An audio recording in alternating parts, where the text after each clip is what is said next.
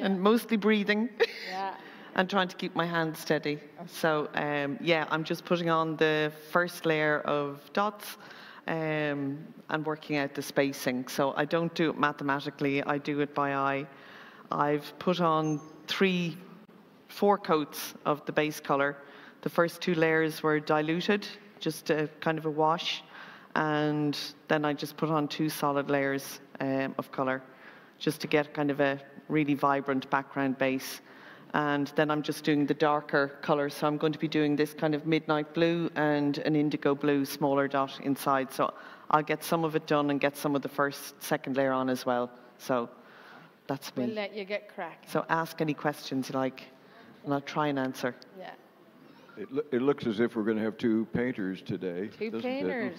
So, um, and, and using lots of brushes. Would you like to say what you're doing here now? Yes, I decorate today this piece. Like I mentioned, people who knows what I do, big part of my work, uh, it's uh, decoration. So be silly to skip this part. Even sculptural, it's really kind of important part. There's been like a canvas, and right now I try to decorate. And I using stains. Uh, it's a color stain. So right now, same work what I make yesterday, I finished last night, left uh, dry. So it's right now dry. I start a little bit painting something boring stuff, what you uh, probably know how everybody painting, you know, houses and da, da, da, da, da, the general. And I left all this fun part for you. Yeah. Uh, So this is on dry clay. It's Yes, not, on dry not clay. biscuit fired or anything like that. Just Yeah, and a lot of people ask actually before, after they're dry, um, are using um, uh, drywall sandpaper, so I'm able to sand it and make it much more clean and smooth if I need that. So it's usually be nice to have mask, dusty, but it works very well. And more smoother surface I have, that's better be easier be apply paint later. hmm You possible painting same technique on a bisque or on a green. So right now, no choice. So you could put this on bisque or green. You Yeah. do it both ways. Yeah. Okay. Thank you. Can I ask how many came to, I'll get you in a second. Can I ask how many uh, people came to Sergei's demonstration yesterday? Fantastic. So do you recognize that's the form he built yesterday? Gráinne did not make this yesterday, just to clarify. I cheated. Only because it needs to be bisque fired first for me. Um, I do a lot of sanding and finishing off after the bisque firing um, with the Abranet. These, a lot of you that came out to the, the workstation saw me using these. So, um, yeah, I use them to kind of get a clean surface and wash the piece off before I start putting the colour on just to make sure there's no dust. And yeah, then I kind of spritz the surface before I start putting the first layer of colour on. Uh, I've got a question up the back, and then I'll come to you. Yeah. Uh, Sergei, what is the medium that you use with the stains? Do you use a medium other than water with the stains? Do you? Yes, uh, this is Mason Stain commercial. You're able to make yourself stains too. It's not difficult, but this is sort of reliable. Same condition, same color. If I'm making myself this all the time, be a little bit changes. And um, Do you add do you add a, a like a painting medium to any of your colors, or do you? Do you no, just straight. But it's nice to uh, simply buying like this and uh, easy to using plates where you're mixing. I never actually using straight from box container. Usually I have small containers where I mix it right condition. And if I have like a kind of tool would give me a couple drops, you know, like sometimes I need to watering down like what perfectly works. Like what I think be working well. So these are the velvet rewards that Amaco make. yeah. Uh, and like Gráinne, uh, you're doing the same. So she using the same. Are you using? Do you use a Yeah. medium, Gráinne? You're using the I same? use the Amaco uh, velvets and I kind of dilute them s- a little bit depending on what stage I'm using them at. These, I just put them in these little porcelain pots, so, uh, and I add little drops of water as they dry out. Okay. So just to keep the kind of the same consistency with the dots. So Um, if they're too watery, they can run, and then you've got a lot of work to do. So, and I just kind of load the very tip of the brush. So a lot of people ask me, did I use a kind of a slip trailer to do the dots? But it puts on too much color, and sometimes if it's too thick, it can just lift off in the firing. So, yeah. So. Uh, we have a question here and a question over there. So this one first.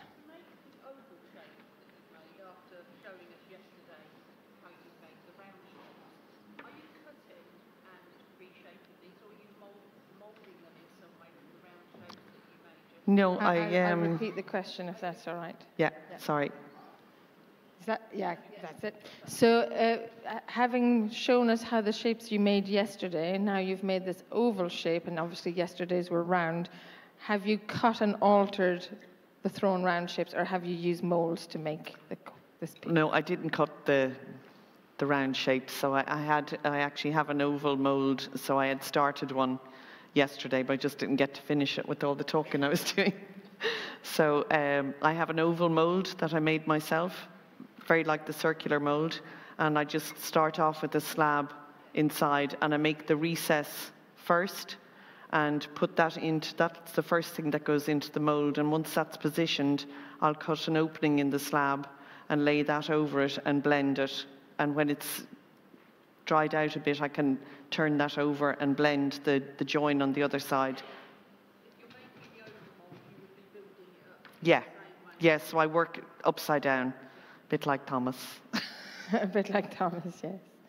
And we have another question, the lady in the pink.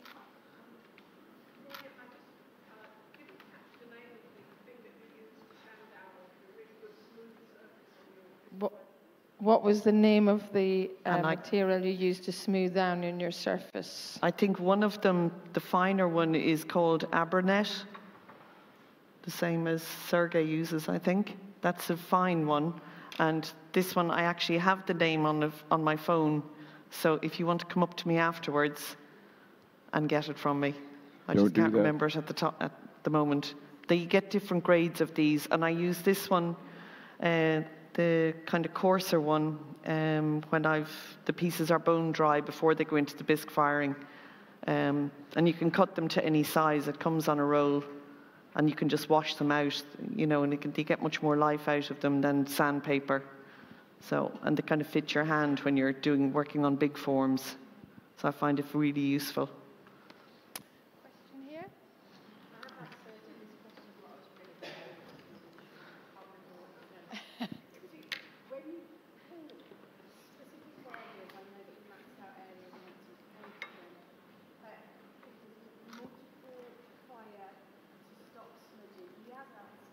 Okay.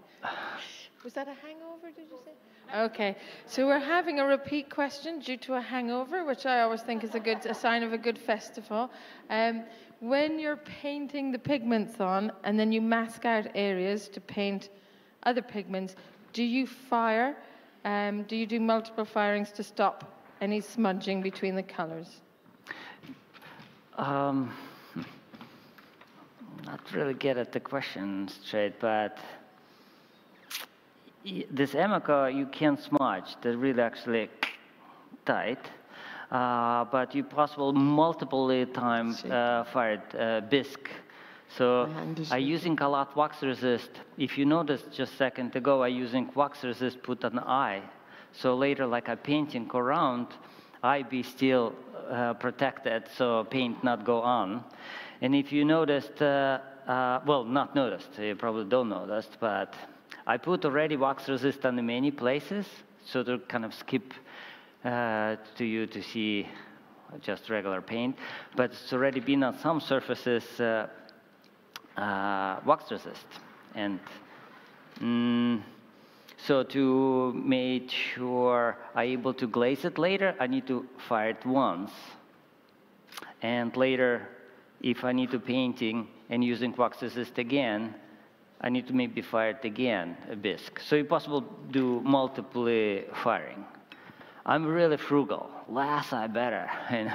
But if need to be uh, quality, I not care how many uh, kilns I fired. So I, I like it to be on the risk on the edge.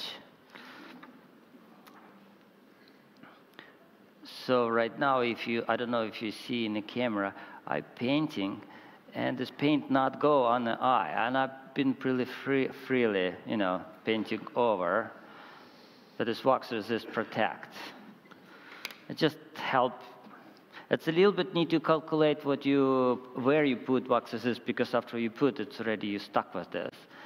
But um, if you know what you're doing, it's pretty easy. So using this brush called grinder, so it looks like with one stroke, looks like you have one, two, three, four, five, like 10 st strokes right away. So it looks like I make, you know, little shadow. And I possible to build this way uh, thicker and thicker, like paint, like more and more paint. I already done this in the feet here a little bit. So more and more you paint, kind of darker get, and on the plates, I'm watering down so much, but every time added more and more. So I want to create more depthness or more um, illusion. This uh, underglaze really good, but if you cover everything, looks so flat. I, don't like flat. I want kind of depthness. So I create all this little technique how you're able to instruct this uh, depthness if you're painting uh, one color on the other, so maybe enrich or shiny or matte. Same paint you possible left without glaze, transparent glaze, or, or with transparent glaze. So you have like two colors already. It depends, you put watery or you put like thick, you have together like four, from one color you're already able to have four different um, uh, tones or nu uh, nuances. Mm -hmm.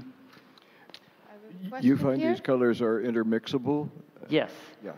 This is like you possible painting like acrylic or watercolor, but it's still like engobes, so it's a color clay. And we have one question.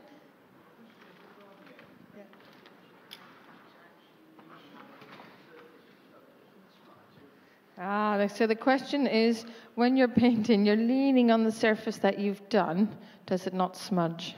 No, no. The, the great thing about these is that they dry in really quickly and you can handle them. But I find it's important that your hands and my arms are clean. There's no hand cream or anything like that or soap on them because that can create a resist. And I would, when I'm normally I'm working, I'd wash my hands quite often just in case there's oil or anything that kind of naturally occurs. Yeah, so soaked up into the bisque, isn't it? Yeah. It's like this session's been sponsored by Amaco Underglazes. exactly. We all know what we'll be buying.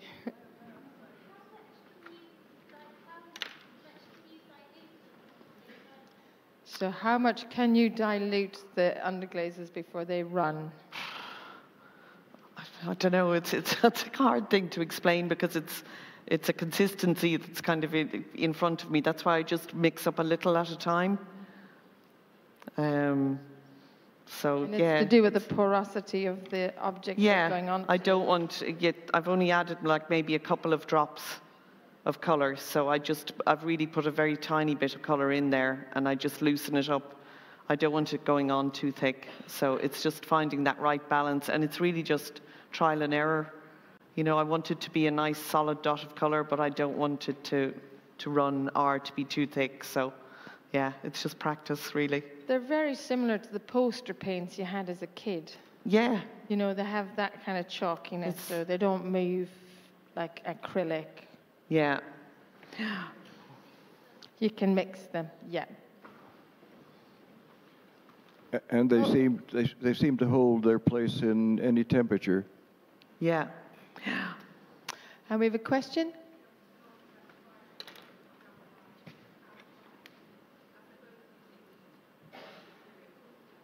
And so this is a question for both of you about the fact that you're both using the same decorative materials. What are your firing ranges?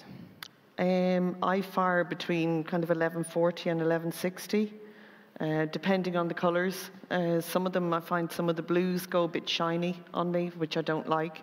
So it's yeah, it depends on your kiln and you know finding out what your how your kiln fires as well, but that's what I do. And I fire the pieces on um, a bed of thin bed of ceramic fiber with a kind of a dusting of light sand on them, which just brushes off after the firing.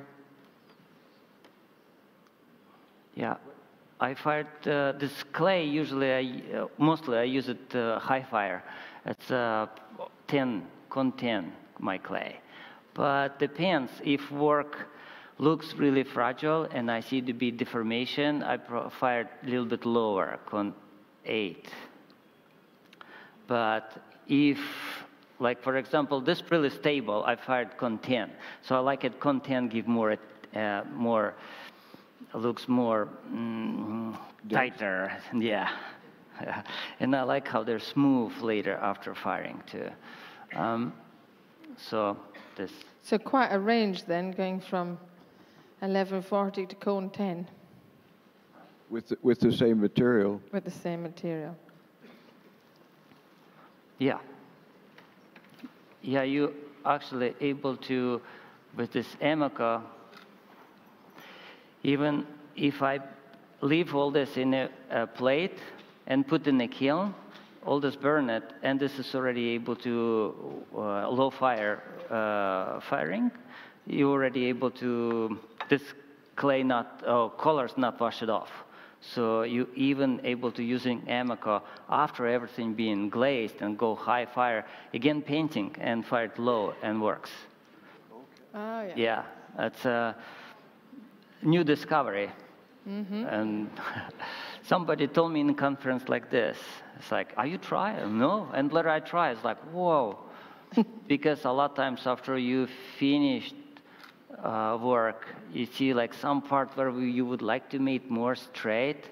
So I, right now I'm painting and put again in the kiln on low fire, no risk. Do you, do you fire? Do you have a very small kiln so you can fire these individually, or do you try to get a group of them together for each firing. Yeah, I have. And refiring. Two, it seems difficult. Three, four, five. I have five kilns, and all different size.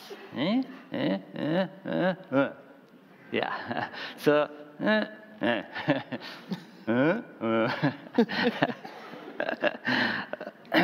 it's, uh, and I, I not wait to make couple pieces. I'm, like I say, I'm trying to be really conservative or frugal, but I actually fired only one piece in the kiln.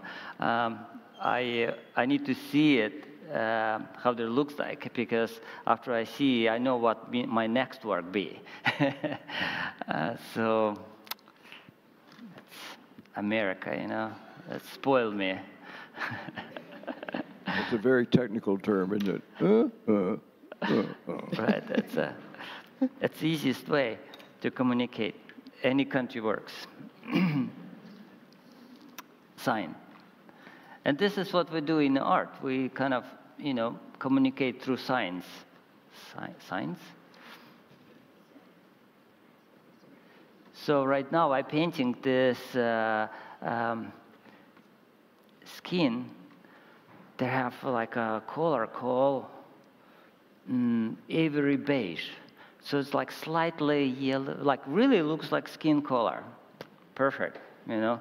And so this means like you're able to using brown, make little bit uh, uh, shadows, and you're able to using white to even have more uh, um, form, like more announced form. So it's really handy. But in this case, really important, their kind of communication sort of. So I try to kind of focusing on their directions of eye. And so, for example, this is work without painting. That's kind of cool, but you know, like if you're painting, it's been suddenly be totally uh, different. If you're painting eyes and shadows and be like really different uh, forms. So I think this painting is really bringing a lot. Okay.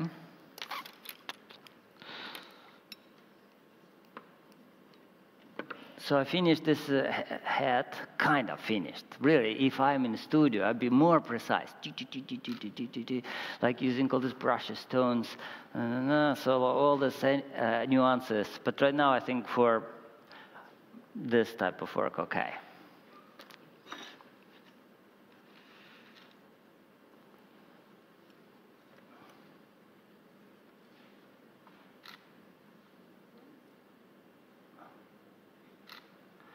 It's quite transformed from the piece we saw on stage yesterday, isn't it? And raw clay. I already put wax resist on this red part of this body, so I'm not afraid to painting somewhere or mixed it up. Can I ask you, Gráinne, how long you would spend decorating a piece of this size? Well, I usually kind of do an hour at a time and then I get up and walk around. Get up, walk around, make a cup of tea. Yeah, and I have kind of, you know, I have various heights of bins and things on wheels. So this this angle is a bit. uh, Normally, I'd have it a bit higher Yeah. for this beginning.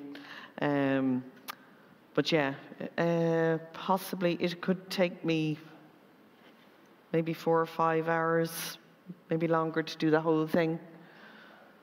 Yeah. And You do know. you have a favorite part of the process from beginning to end? Is this I like doing the last dot. the last? I kind of go yes.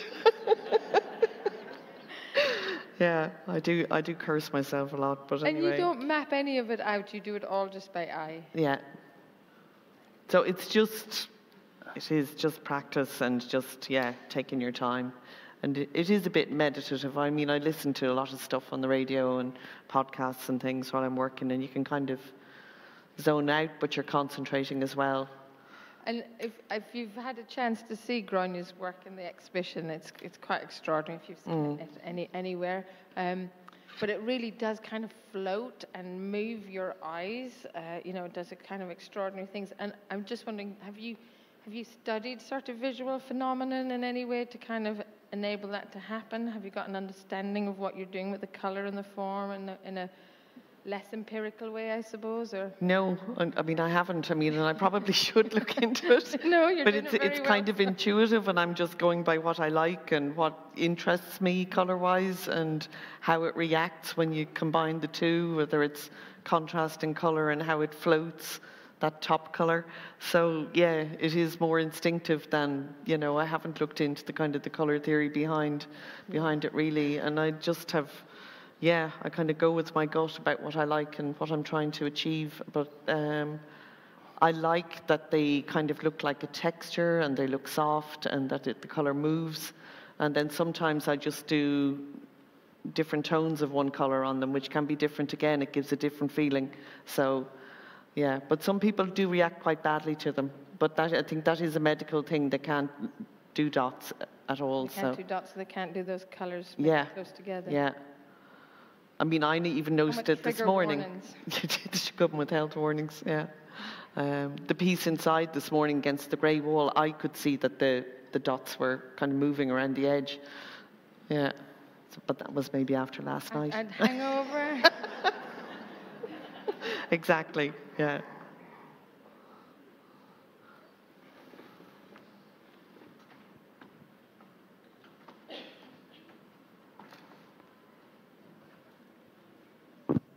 oh, we have a question. Sorry. Oh, sorry. That, so it's up behind you, and then I'll come down to you. Sorry. How do you know how many dots exist in the circle? I don't. Do you ever get to the end and go, oh, bugger? Is there like too big a gap or too small a gap? I know I'm just doing it by my eyes, so yeah. I mean, sometimes you make the dot, if it the space looks a little bit too big, you just make the little dot a little bit bigger.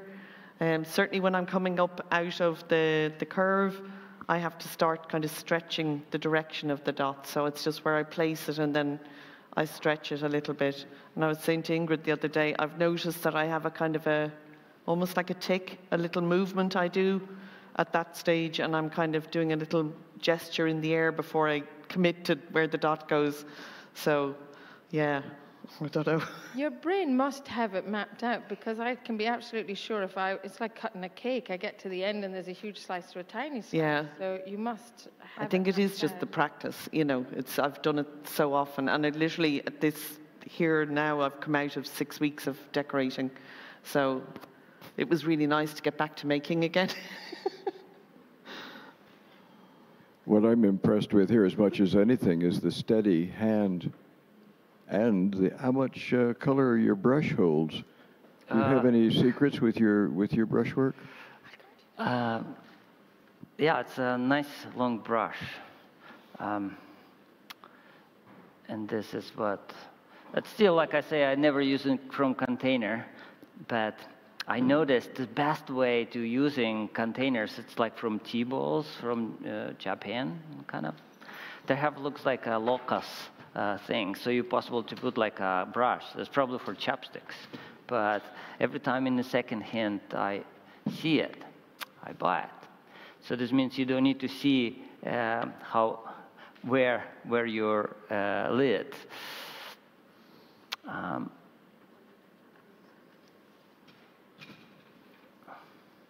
We have a question?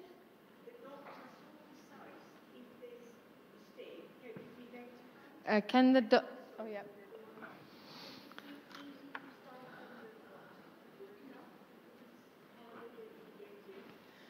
So people are fascinated by your dots here now, Gráinne. If your dot is, a, if you put a dot in the wrong place, can it be rectified? And would it not be easier for starting from the bottom of the in, insert up rather than the inside, yeah.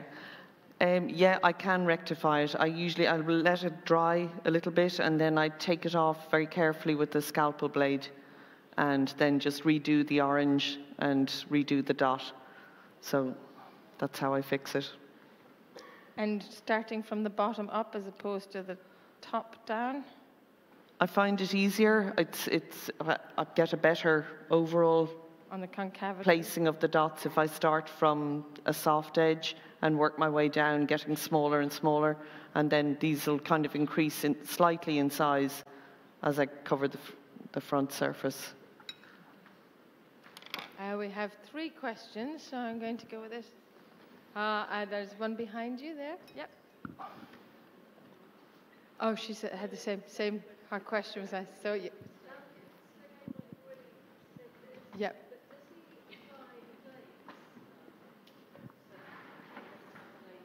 Lovely. Uh, Sergei, the question is, and you may have answered it. Um, do you apply a glaze on this? And if you do, what temperature is it? Yes, uh, usually transparent glaze, but sometimes different glaze too. Uh, high fire, yeah. And I apply with brush. It's easy. I using a lot wax resist too to make sure their glaze only be in this place where I want it. I not put my piece all shiny because it's sometimes shiny made a little bit not so depth like two reflections. So for example here I probably glaze it this inside this red part, maybe his face and feet and maybe cat eyes and that's it. And so all this I put wax resist around where I wanted to put glaze after bisque and let her glaze it brush on uh, glaze, transparent glaze. Maybe, uh, yeah. Do you ever spray or or use an airbrush to get those delicate colors? Uh, no, this, I, I like it low maintenance. Brush so much easy. Um, in the school, um, a lot of people ask what you learn from school, and I remember I learned from school all this. Uh, funny things. Like I learned from school, better don't touch uh, sp- spray brush. There's so much cleaning and so much maintenance. Uh, you can do it, but it's easy just learn how to be, you know, straightforward, have, have strong hand, or like you say. Um, so. Um,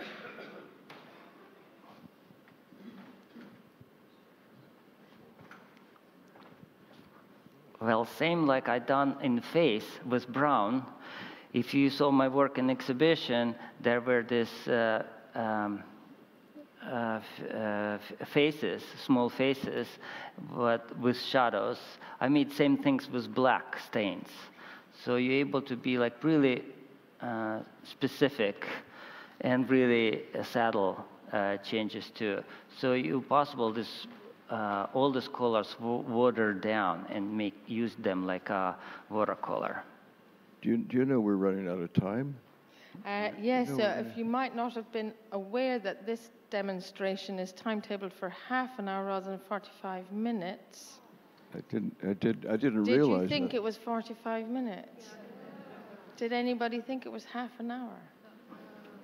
Neither did we. Yes. um, I so we just need to check how we're doing for time. Um, uh, how are know- we doing for time? Is that a? Is that a? Hang I on. never, I never thought I could have such a wonderful half hour 18 wa- minutes watching. past four. I know this is a half an hour That's done. demonstration. Okay. I was just Um, thinking, I, I've never had such a wonderful half hour watching paint dry. Yeah, we're, yeah, it's so beautiful. Such a beautiful thing. I to told you it'd be riveting. Um, we'll just check where, because we have the closing ceremony to prepare for, and everybody needs to be here at half past four. Okay, unfortunately, we have to close it at that today because we do have to get ready for the closing ceremony. But I would like to thank our wonderful demonstrators.